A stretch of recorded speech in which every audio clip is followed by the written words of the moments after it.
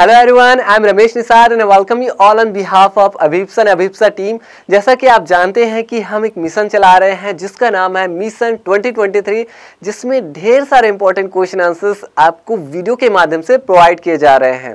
तो last video lecture में हमने क्या देखा था? लास्ट वीडियो लेक्चर में हमने आर्टिकल्स एंड क्वेश्चन टैग के बारे में चर्चा की थी। आज हम स्टार्ट करने वाले हैं बहुत ही इंपॉर्टेंट टॉपिक जो कि है क्वेश्चन आंसर्स और ये प्रीवियस ईयर के क्वेश्चन है, यानी ये आपके प्रीवियस ईयर्स में आए हुए हैं और ये यूनिट फ़र्स्ट इंस्पिरेशन से लिए गए हैं। तो स्टार्ट करते हैं, हमारा फ़र्स्ट क्वेश्चन है व्हाट इज़ पैट्रियटिज्म यानी देशभक्ति क्या है? तो देशभक्ति क्या है? तो देशभक्ति का अर्थ क्या सिर्फ़ महात्मा गांधी या फिर जवाहरलाल नेहरू की तरह जेल जाना, या फिर भगत सिंह या चंद्रशेखर आज़ाद की तरह देश के लिए बलिदान हो जाना, शहीद हो जाना। क्या यही सिर्फ़ देशभक्ति है? नहीं। देशभक्ति का अर्थ सिर्फ़ जेल जाना या शहीद होना नहीं है, बल्कि देशभक्ति का अर्थ है हम छोटे छोटे तौर तरीकों से लोगों के प्रति सम्मान दिखाकर, लोग जो देश है, उनके प्रति सम्मान दिखा करके देश की जो चीज़ें हैं, जैसे राष्ट्रगान है, राष्ट्रीय गीत है, इनके प्रति सम्मान दिखा करके लोगों की सेवा करके भी हम देशभक्ति कर सकते हैं। यानी प्रोफेशन में हम चाहे जो भी हो, जो भी प्रोफेशन में हो, हम अलग अलग प्रोफेशन से भी, हर प्रोफेशन से भी हम अपनी देशभक्ति दिखा सकते हैं। तो यही होता है देशभक्ति। तो इसे आप इस तरह से भी लिख सकते हैं patriotism is not only to go to jail and to die for one's country but to love one's fellow country man and other things of the country also. Patriotism can be reflected from one's actions towards it. तो देशभक्ति का अर्थ सिर्फ़ और सिर्फ़ jail जाना या फिर देश के लिए शहीद होना नहीं है, बल्कि देशभक्ति का अर्थ है हम छोटे छोटे तौर तरीकों से लोगों की सेवा करके, देश की जो चीज़ें हैं, उनके प्रति सम्मान दिखा करके, देश के प्रति सम्मान दिखा करके भी हम देशभक्ति कर सकते हैं तो ये होती है देशभक्ति now let see the next question why is the national anthem not played in the cinema halls this days इन दिनों सिनेमा हॉल्स में नेशनल एंथम, यानी राष्ट्रगान क्यों नहीं चलाया जाता है, क्यों नहीं बजाया जाता है? क्योंकि पहले ऐसा होता था कि मूवी के अंत में, मूवी के समाप्त होने के बाद नेशनल एंथम चलाया जाता था, बजाया जाता था। लेकिन ऐसा नहीं किया जाता। क्यों? क्योंकि ऐसा देखा गया कि सिनेमा हॉल के अंत में जो लोग हैं वो राष्ट्रगान चलते समय, राष्ट्रगान के बीच में ही वो चिल्लाते हुए, हँसते हुए, शोर शराबा करते हुए बीच में ही छोड़ करके वो चले जाते थे। तो ऐसा करना राष्ट्रगान का अपमान था और इसीलिए गवर्नमेंट ने ये आदेश दिया, गवर्नमेंट ने यह निर्णय लिया कि नेशनल एंथम सिनेमा हॉल्स में ना बजाया जाए। तो इसीलिए ऐसा किया गया। तो आप इस तरह से भी लिख सकते हैं। Earlier, national anthem used to be played at the end of the movie in the cinema halls, but people would leave the hall midway laughing, shouting and making noise that showed disrespect towards the anthem.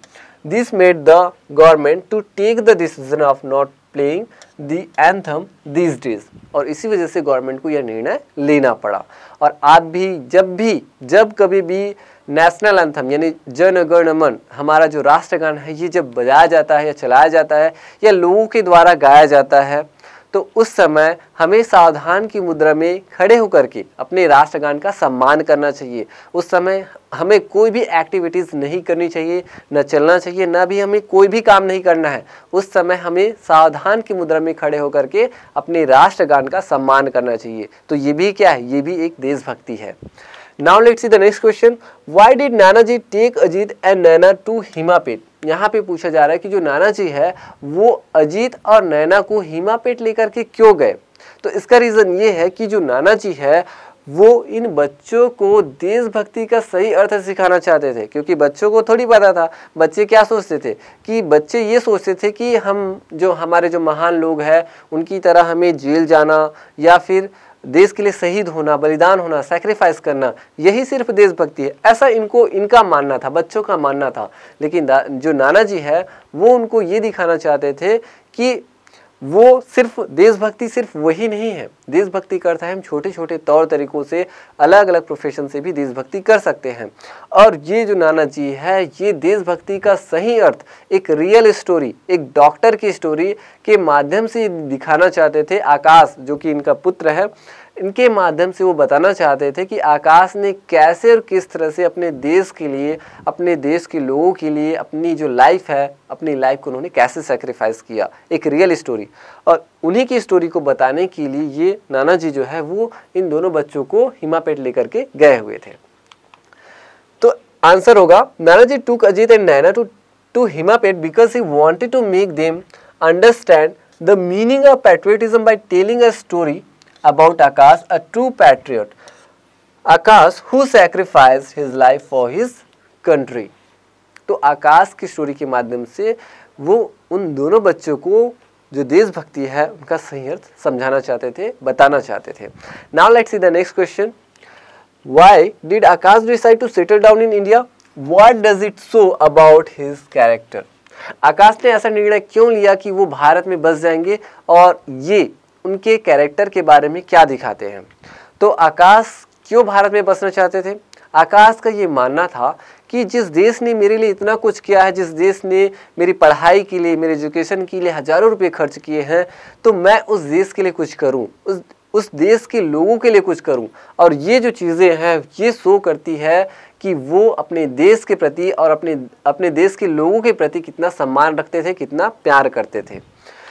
तो answer हो जाएगा कि देखिए, जैसा कि वो अपने देश के लिए कैसा कुछ किए हैं, वो एक डॉक्टर थे प्रोफेशन से और उन्होंने अपनी लाइफ को सेक्रीफाइस कर दिए क्योंकि वो लोगों की सेवा करना चाहते थे, देश की सेवा करना चाहते थे। तो इसका आंसर इस तरह से हो जाएगा, Akash decided to settle down in India because he wanted to serve the Indian people by his profession it so it shows that Akash had love for his country and country man okay Now let's see the next question. Our next question is how did the villagers express their gratitude to the service provided by Akash? तो आकाश के द्वारा जो सेवा प्रदान की गई उसके प्रति विलेजर्स जो है वो अपना ग्रेटिट्यूड अपना आभार व्यक्त करने के लिए उन्होंने क्या किया तो जो विलेजर्स है वो आकाश के प्रति अपना आभार व्यक्त करने के लिए, अपनी श्रद्धांजलि अर्पित करने के लिए क्या किए? डोनेशन एकत्रित किए, चंदा एकत्रित किए और चंदा एकत्रित करने के बाद उन्होंने एक हॉस्पिटल का निर्माण किया और जिसका नाम रखा गया आकाश मेमोरियल हॉस्पिटल और उसके बाद इसके उद्घाटन में इनके पेरेंट्स को इनवाइट किया गया और इनके फादर के द्वारा, इनके पिताजी के द्वारा, आकाश के पिताजी के द्वारा उनका उद्घाटन किया गया। तो इस तरह से विलेजर्स ने क्या किया? इस तरह से उन्होंने आभार व्यक्त किया। तो आंसर इस तरह से होगा। The villages collected donation for building a small hospital in the village Akash memorial hospital was built in the memory of doctor Akash and after completion of it they invited Akash parents in the opening ceremony and Akash father inaugurated the hospital और इस तरह से उनके ही नाम से hospital का निर्माण किया गया। क्यों? क्योंकि आकाश ने क्या किया था? आकाश ने देश के लिए, देश के लोगों के लिए उन्होंने अपना, अपनी जो लाइफ है, उन्होंने सेक्रीफाइस किया। क्योंकि महामारी आई हुई थी और महामारी से लोगों को बचाने के लिए उन्होंने अपनी लाइफ का परवाह बिल्कुल भी नहीं किया। और वो लोगों की ट्रीटमेंट के लिए वो लगे हुए थे, लगातार लगे हुए थे। Now let's see the next question what difference do you notice between Akash and his friends यहाँ पे पूछा जा रहा है कि आकाश और आकाश के फ्रेंड्स में क्या अंतर है? क्या अंतर पाया गया? तो आकाश और आकाश के फ्रेंड्स में ढेर सारे अंतर पाए गए कि जो आकाश है, आकाश का मानना था कि जिस देश ने मेरे लिए हज़ारों रुपये खर्च किए, मेरी शिक्षा के लिए इतने खर्च किए हैं, जिस देश ने मुझे ये ज़िंदगी दी है लाइफ दी है, उस देश के लिए, उस देश के लोगों के लिए मैं कुछ करूँ, चाहे मैं कोई भी प्रोफेशन में रहूँ। और इस तरह से जब महामारी की समस्या आती है तो ये अमेरिका की लाइफ को, यूएस की लाइफ को छोड़ करके चले आते हैं, क्योंकि ये चाहते तो अमेरिका में रह करके ये हज़ारों लाखों करोड़ों रुपये कमा सकते थे लग्जरी लाइफ व्यतीत कर सकते थे, लेकिन उन्होंने ऐसा नहीं किया। ये अपने देश में आए, देश की लोगों की सेवा में लगे रहे। महामारी के वक्त ये अपनी लाइफ की बिल्कुल भी परवाह नहीं किए और लोगों की ट्रीटमेंट में लगे रहे और अंत में उन्होंने अपनी लाइफ सेक्रीफाइस कर दी और इस तरह से इनका देहांत भी हो गया। जबकि इनके जो फ्रेंड्स हैं इनके जो फ्रेंड्स हैं, ये ढेर सारे पैसे कमाने में लगे हुए थे, ये लग्जरी लाइफ व्यतीत कर रहे थे, गाड़ी, बंगला, ढेर सारी चीज़ें, ढेर सारे पैसे ये लोग कमा रहे थे, इनके जो फ्रेंड्स हैं। तो इस तरह से हम देख सकते हैं कि जो आकाश है, आकाश की लाइफ कैसी थी और इनके जो फ्रेंड्स थे, वो कैसी थी। तो आंसर हो जाएगा, Akash thought about the service for his country and country man because he thought the country had spent thousands of rupees in his education and it was his duty to serve, serve his country first. On the other hand, he, all his friend, friends were only living their luxury luxurious life in America. तो इनके जो friends थे वो America में luxurious life luxury life व्यतीत कर रहे थे जबकि आकाश ने लोगों के बारे में अपने देश के लोगों के बारे में अपने देश के बारे में उन्होंने सोचा now let's see the next question our next question is what was the little kite afraid of जो छोटी पतंग है, छोटी पतंग को किस बात का डर था? तो छोटी पतंग किस बात, उन्हें किस बात का डर था? तो छोटी पतंग को ये डर था कि वो कहीं ऊपर से, ऊपर उड़ते समय कहीं नीचे ना गिर जाए।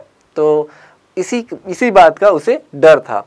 जब छोटी पतंग उड़ने की कोशिश करती है, प्रारंभ में तो काफ़ी डरी हुई थी और जो बड़ी पतंग है वो बार बार इनकरेज करती है कि तुम उड़ो उड़ो, लेकिन उड़ती नहीं है, काफ़ी डरी हुई थी। तो ऐसा होता है ना कि जब कभी भी आप भी जब कहीं ऊंचाई पे जाते हो या चढ़ते हो, जैसे आप पेड़ पे चढ़ते हो तो आपको काफ़ी डर लगता है ना? लगता है ना? तो वैसे ही जब इस शुरू में जब उड़ती है तो शुरू में उड़ने से पहले काफ़ी डरी हुई रहती है। तो यही आंसर आपको लिखना है। The little kite was afraid of falling down at his high flight तो उसे नीचे गिरने का हाई फ़्लाइट से नीचे गिरने का इसे डर था। तो ये आपका आंसर होगा। Now let's see the next question how did the boys look like from the sky अब देखिए, छोटी पतंग अब काफ़ी ऊँची उड़ान पे चली गई है। अब जब काफ़ी ऊँची उड़ान पे जब वो थी तो जो बच्चे हैं वो कैसे दिखाई देंगे? वो एकदम छोटे छोटे डॉट डॉट की तरह दिखाई देते थे। कैसे दिखाई दे रहे थे? छोटे छोटे डॉट की तरह। इस तरह से। छोटे छोटे डॉट की तरह दिखाई दे रहे थे, धब्बे की तरह दिखाई दे रहे थे और चूँकि छोटे जो बच्चे हैं, वो खेल रहे थे। तो खेल रहे थे तो ऐसे लग रहे थे जैसे छोटे छोटे जो डॉट्स है, धब्बे है, वो मूव कर रहे हो, गति कर रहे हो तो ऐसा वो दिखाई दे रहे थे। तो इसका आंसर ऐसा होगा, the boys looked like small spots moving round from the sky. तो वो ऐसे दिखाई दे रहे थे। let's see the next question. Our next question is why was Kailash Satyarthi awarded the Nobel Prize for Peace? यहाँ पे कहा जा रहा है कि जो कैलाश सत्यार्थी है, कैलाश सत्यार्थी को शांति का नोबेल पुरस्कार क्यों दिया गया तो इसका आंसर क्या है कि जो कैलाश सत्यार्थी है, इन्होंने अपनी लाइफ उन बच्चों के लिए सेक्रीफाइस किया, उन लोगों के लिए उन्होंने समर्पित किया, जिन, जो बच्चे अपने बचपन से, अपने स्वास्थ्य से, अपनी शिक्षा से, अपने स्वतंत्रता के मौलिक अधिकारों से वंचित थे। उन बच्चों के लिए उन्होंने अपनी लाइफ समर्पित किया हुआ था। उन्होंने इसी वजह से इन्हें शांति का नोबेल प्राइज़ दिया गया। तो इन्हें कब दिया गया था? टेंथ अक्टूबर 2014 2014 को इनको शांति का नोबेल प्राइज़ दिया गया। तो इसका आंसर इस तरह से होगा। Kailash Satyarthi was given the award for peace because he worked for those children who were deprived of their childhood health and education and their fundamental right to freedom तो इस तरह से उन्होंने अपनी लाइफ को समर्पित किया था उन लोगों के प्रति ये काफ़ी समर्पित थे जो बच्चे काफ़ी पिछड़े हुए थे जो अपनी शिक्षा से, स्वास्थ्य से, है ना? इस तरह से वो अपने अधिकारों से वंचित थे, अपने मौलिक अधिकारों से, स्वतंत्रता के अपने मौलिक अधिकारों से वंचित थे। तो इस तरह से आज हमने कुछ इंपॉर्टेंट क्वेश्चन आंसर्स कंप्लीट कर लिए हैं। ये क्वेश्चन आंसर्स आपके प्रीवियस ईयर में आए हुए हैं और हो सकता है कि आने वाले एग्ज़ाम में भी आए। सो इसलिए आप भी प्रिपेयर हो जाइए और क्वेश्चन आंसर्स को रटिए मत, समझिए। अच्छे से समझिए स्टोरी को समझिए कि आपके क्वेश्चंस क्या पूछे जा रहे हैं और आंसर आपको क्या देना है, ताकि यदि आप क्वेश्चन आंसर यदि भूल भी गए तो भी आप अच्छे से लिख सकते हो, लिख सकते हो। तो इस तरह से आप जो है वीडियो को बार बार देखिए स्टोरी को समझिए, अच्छे से समझिए क्वेश्चन को समझिए आंसर को समझिए, और आंसर आपको कैसे देना है, किस तरह से देना है, इन चीज़ों को आप अच्छे से दिमाग में रखिए। तो इस तरह से आप जो है हमारे साथ बने रहिए। आप वीडियो को लाइक करिए शेयर करिए अपने दोस्तों को, दोस्तों के साथ। मैं मिलूँगा एक इंटरेस्टिंग लेसन के साथ नेक्स्ट वीडियो में। तब तक के लिए धन्यवाद।